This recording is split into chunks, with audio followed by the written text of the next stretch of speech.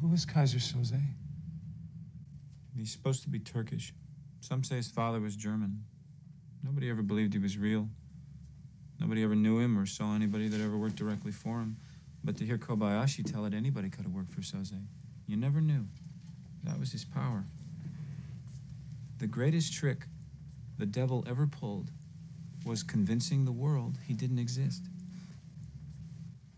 One story the guys told me, the story I believe, was from his days in Turkey. There was a gang of Hungarians that wanted their own mob. They realized that to be in power, you didn't need guns or money or even numbers. You just needed the will to do what the other guy wouldn't. After a while, they come into power and then they come after Soze. He was small time then, just running dope, they say. They come to his home in the afternoon looking for his business. They find his wife and kids in the house and decide to wait for Soze.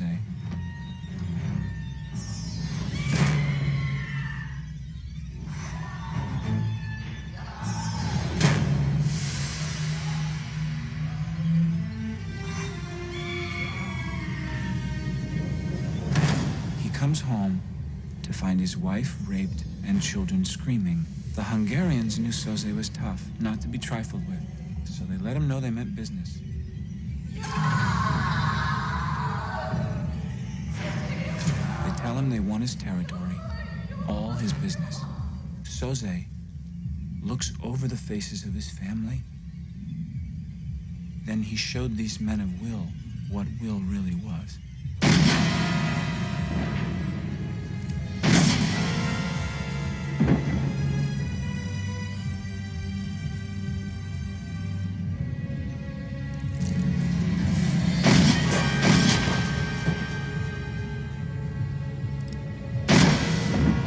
Tells him he would rather see his family dead than live another day after this.